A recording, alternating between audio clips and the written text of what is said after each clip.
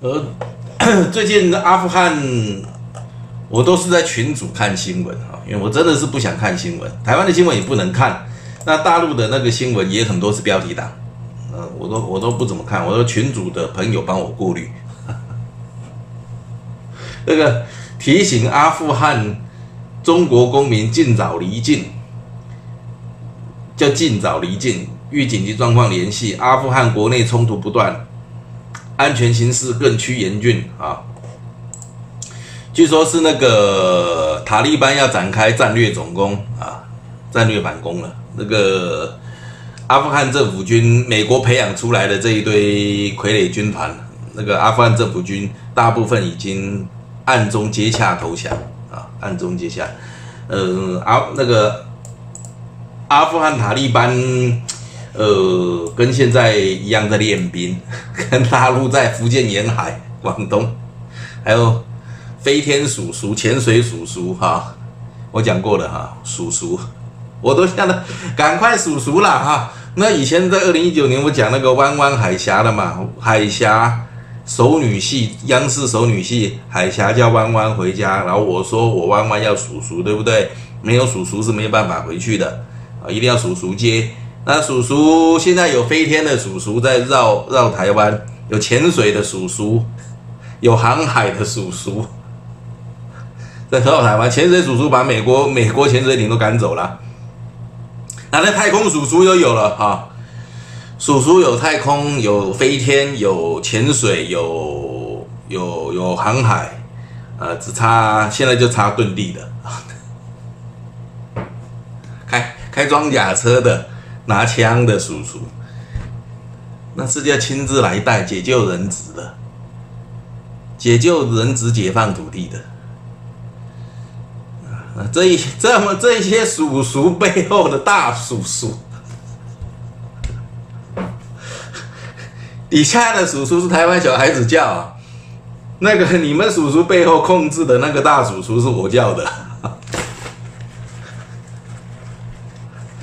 啊，叔叔快点了哈，啊，不要提啊，不要提这个哈，我们今天重点不是讲叔叔，叔叔一定会来的啦哈，叔叔你不来的话，会会有会有其他的阿阿巴，我们叫阿巴伯伯阿巴。阿巴是以前的那个入声字啊，巴是入声字啊，是古音，就是大伯的意思啊，啊，就会把叔叔赶走。你你不行，我来。那阿巴出手就很大，很凶狠了哈。我提过了，不要玩到这样。那个大叔叔赶快哈，那个有有有有有要赶快倒数计时哈。我我前面提过，我不提哈。现在这个战略总攻啊，那个塔利班战略总攻，你看他。他打这个战打了多少年？打了二十年了，打了是二零零一年去去进兵的嘛？啊，好像是打阿富汗哈，九一九幺幺事件了哈，已经打了快二十年了，美国已经打到不行了哈，要要走了。那个手法跟当年的南越南一样，跟越南一样，跟现在跟当年的。越越战，你看越战对越南人来讲，他值得。虽然说死了真的很多人，国家打得乱七八糟，但是我永久驱除这个祸患嘛，永久除此一害嘛，我国家再来重新建设嘛，这就是有豪气啊。当然，他这个豪气是中国人教他的啊，不是越南人本身有这个豪气啊。当时就是这。给你，给你，给你，给你，给你这样，你所以现在那个阿富汗也有，阿富汗塔利班是自己的哈，他不是中国人教的，因为那个早在鸦片战争的时候，他跟中国同步打鸦片战争哦。嗯，我黄道无间第三部有介绍，因为那我黄道无间第三部写的是整个牌局了嘛哈，那个他自己一个建立一个小牌局啊，自己一个建，因为他是属于第二根天顶斜的系统啊，他自己一个小牌局，小牌局的话他。他自己，你你你当时你做不了的事，他做，他可以做啊，他可以做。所以当时他就打了类似这种越战的东西啊，那个对英国人啊，就跟他忽悠，一直玩嘛，打打打打到最后，打到最后英国伤亡惨重，甚至有几仗，你你中国打鸦片战争输的时候，他全歼两万多英军。全歼，把那个统帅人头就把你斩掉，送回去。那时候只有一个，当时只有一个军医逃跑，英英军几乎全军覆没。所以英国是第一次打，然后第二次越战就打苏联啊。英国当然后来那个后来是想办法争回面子。你看昂昂格鲁萨克逊人那个海盗民族哦，我被改造的就是很要面子，跟美国现在一样。英国当时就是要面子，逼你阿富汗一定要外交归我，我一定要抢到什么特权。他死了那么多人打输，但他还希望对方签不平等条约哦。我当时我英国是大不落帝日不落帝国哈。用这来压你，只是一个一个酋长国，那是阿富汗酋长国，连进贡清朝的资格都没有啊！他是各个酋长的联盟国，穷到还可以把英军全歼，全歼一个都不活，一个都不给他活，只留一个军医逃跑了，当时是逃跑的啊。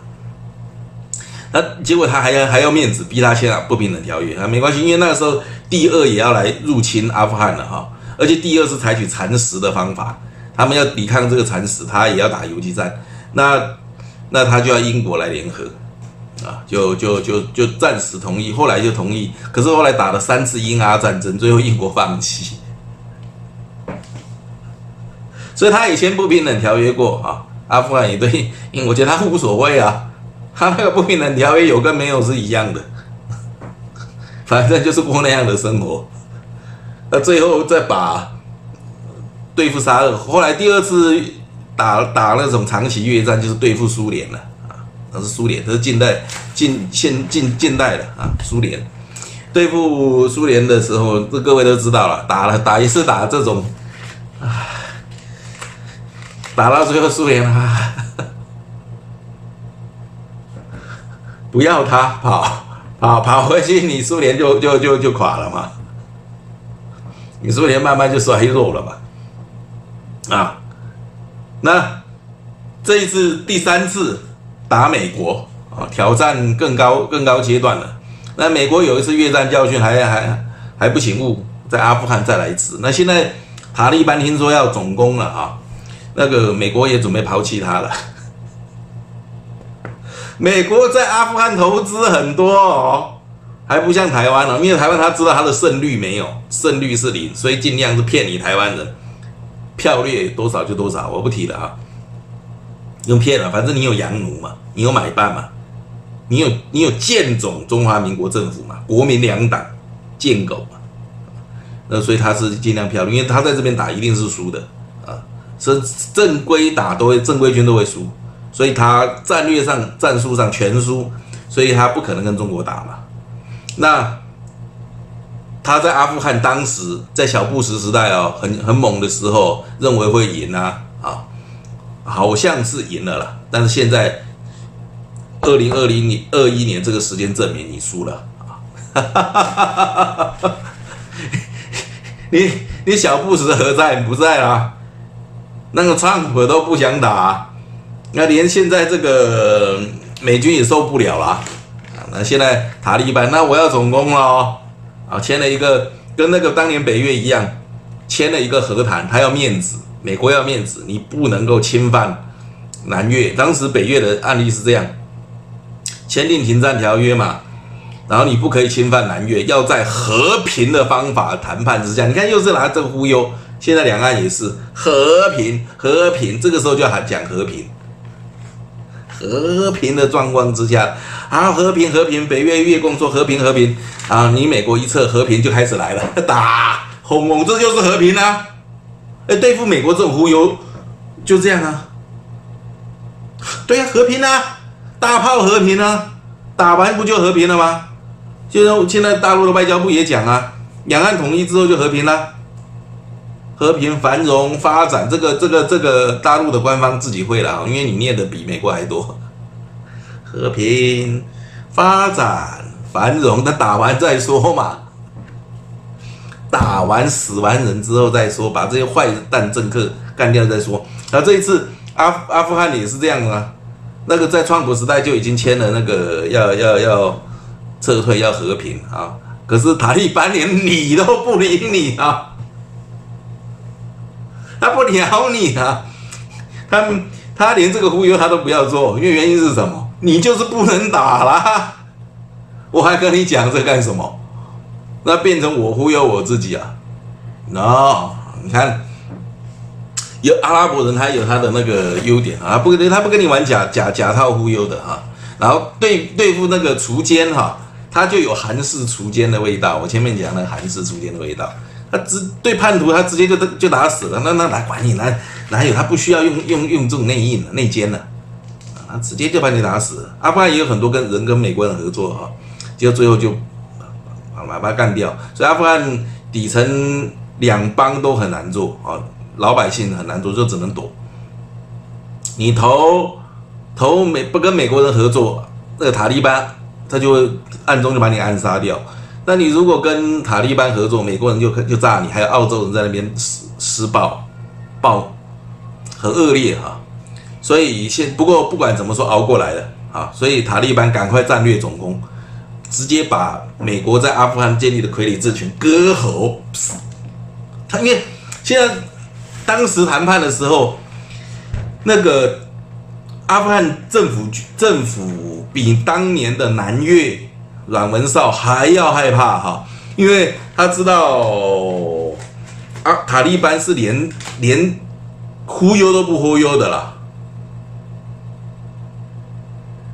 他直接不答应嘛，而且就在你在讲和平的时候，外面他就已经开炮了，结果你美国还不是乖乖签下我要走，跟塔利班停战，他说我不打你就好了，我一定要打他，结果你你美国敢？不跟塔利班合作吗？你美国有实力再跟塔利班打二十年吗？没有了吧？没有了吧？你看还还要用毒品用什么？很抱歉，他是第二根天顶鞋，他排毒的效率很高，他是子系统排毒的效率很高，所以你那个毒品他要清除很快啊，他要清除。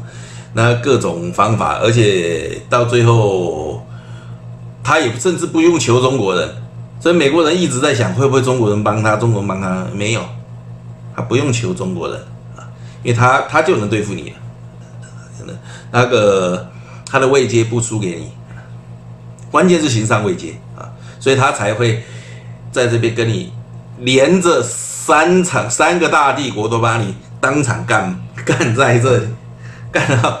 哦，哦，算了算了算了，你算了啊，你算了，你回去你你就开始要衰弱了，原因也是形上形上的原因啊，不要以为说你走了就没事了，所以在那边打二十年好啊，交战二十年，砰砰砰砰砰，我在一战的时候我提过。我提过参战的土耳其的那影评一战，你再回去看哈。参战的土耳其哈，那个为什么到最后是这个情况？想要灭先灭土耳其是绝对做不到的啊，因为就有有一股力量在后面在在抵住嘛。所以哪怕他弱，只是他不是他的时候而已啊。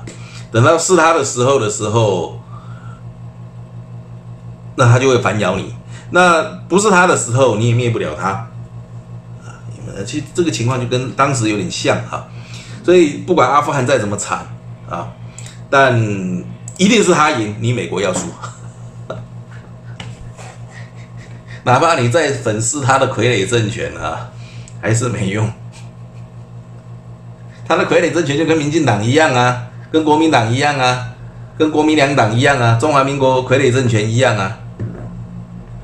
是没有用的嘛？还还还比比比这边有用哦，因为美国对当时的对阿富汗的那个县政府，它是投资很大的哈，不管是训练装备，通通都给了很多。早期是给这种武器，后来这种武器一直被塔利班俘获嘛，所以就干脆不要了，那就给其他的，可是给其他的也没有用。甚至他们很多，因为他没有钱发发他们傀儡政府的代言人啊，他养的那些代言人都是要养的，那美国养啊，美国出出钱养嘛，他又不像台湾要自备狗粮，对不对？那那出钱养的结果，可是到最后都不可靠，都通通不可靠啊，所以他投资很大，还比你有用哦，他手上的武器还比较多啊，手上武器还比塔利班多，可是最后还是打不赢塔利班。那塔利班就展开战略总攻吧，彻底在中国西进，把美国这根钉子拔掉，让他整个美国中东战略彻底崩溃啊，彻底崩溃。那崩溃之后，伊朗跟阿富汗就联合在一起了嘛？伊朗跟阿富汗可以，中国可以透过伊朗和阿富汗、阿富汗聊一聊，也可以通过巴基斯坦啊，因为巴基斯坦跟阿富汗也是有很很密切的关系的。啊，那个美国又想要争面子，想要在巴基斯坦驻军，巴基斯坦断然拒绝，叫他滚。你在这里，恐怖分子就永远不停。所以，很好，终于等到这一天了，终于等到了。对阿富汗人来讲，也是终于等到了。因为在二零二一年的时候，那时候我就很讨厌那个美美军，我认为美军当时打阿富汗。不走，在那边驻军，以剿灭塔利班为名，之后北约介入，其实他的目的是不单纯的，跟当年英国人占领阿富汗的目的是一模一样的，他想要从东西两进来包夹中国嘛。我讲过那个包环形包围的战略嘛，但是那是失败的战略，失败的战略，那日本小鬼给他的。当时他那时候我二零一零一年我就觉得很讨厌你在那边埋了一个钉子，很讨厌。到底什么时候能拔掉啊？终于今天准备要拔，而且我本来以为塔利塔利不是塔利班呢，当时我还没有想的那么那么深深邃了啊，二十年前嘛，没想到塔利班活到今天啊，而且还可以做战略反攻。虽然说塔利班是一个很封闭的神学式政权哈。但你要想一件事情，他就是因为这样，他才有这个韧性，他才有那个位阶啊。第二个天领袖我提过了，他那个位阶哈，要这样想啊，他才有那个位位阶跟西方人是等位阶的，可以把你把你轰掉的。那只要时间轮到他，他的游戏是那样子的哈。后来知道他们的游戏是这样子的，所以他不会怕你西方人的啦。他也只有因为他是这个神学式政权，他才不会不会像叙利亚那样子啊，也不会像不会像利比亚那样子。你利比亚跟叙利亚都是想要掺一点西方的制度进来，呃，但是又不太愿意接受啊，因为你本身是。不可能接受得了的嘛？那两个相互排斥的底层，怎么可能接受？那啊，那你可是你表面又接受，你就露出弱点了。所以伊朗一直要不是他们国家比较大哈，伊朗一直也有一个弱点，就是他有用到西方的自制游戏。可他自制游戏是很明显的，就是你们人民选的不算数。人选他直接赶你弄过来，是后面有一个宗教领袖来指定的，神也要选，他也是第二根天顶线，他不怕，但是对他来讲就是一个弱点，所以美国可以制制压他，就这个原因。那阿富汗的话，他神学式的结构的话，他就算很穷、很弱、很没有条件，你还是制压不了他。而且你你如果硬要去打他，你他是一个战略要地啊，阿富汗，因为就在你中国西邻嘛，他绝对是一个战略要地。可是最后这个战略要地就是战略不起来，为什么？就是 有这种嘛，还把你三个帝国全部干趴掉啊！三从英国、苏联到现在美利坚啊，呃，我我在等待看。那个塔利班最后怎么打进科布尔啊？把他的割喉，然后这就可以拿来当做样板。